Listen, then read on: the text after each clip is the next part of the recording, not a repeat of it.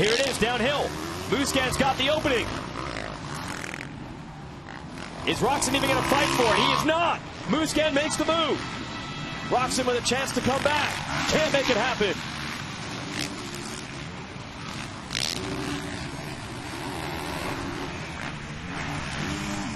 Things are changing in a hurry here. Lucas Oil Pro Motocross. Ken Roczen is fading here in the final moments of our final race of the day. Marvin Musquin with the yellow gear, the orange 25, has made the move. And Zach Osborne in the 16 is around Roczen now as well. And that is going to cost Roczen four points, those two passes. And it will push him. And Barcia's right there also. And there goes Barcia. He's going to go around the outside. So that's it. That's it. I mean, that's a championship right there.